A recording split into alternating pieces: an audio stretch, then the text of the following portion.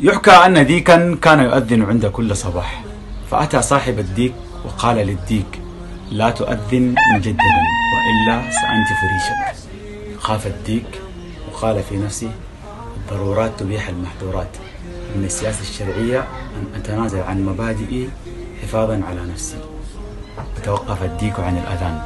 وبعد أسبوع أتى صاحب الديك وقال للديك إن لم تقاقي كالدجاجات سأنتف ريشك أيضا تنازل الديك وأصبح يقاقي كالدجاجات.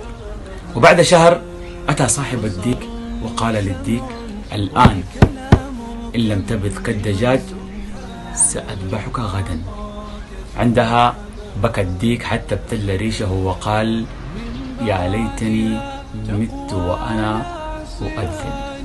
هكذا تكون سلسلة التنازلات عن المبادئ. لا تتنازل عن مبادئك أبدا مهما كانت الظروف والأسباب والمغريات. المرة الأولى اللي راح تتنازل فيها عن مبادئك برضاك أنت تأكد المرة المقبلة راح تتنازل عن مبادئك غصبا عنك.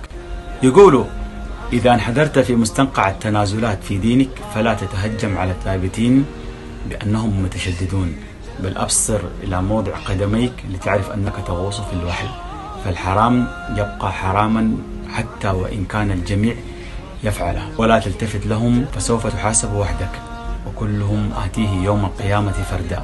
فاستقم كما أمرت لا كما رغبت. في مثل الإفريقي يقول حتى وإن كان الأسد جائعا فإنه لا يأكل العشب. لا تغير مبادئك لمجرد أن معدتك فارغة.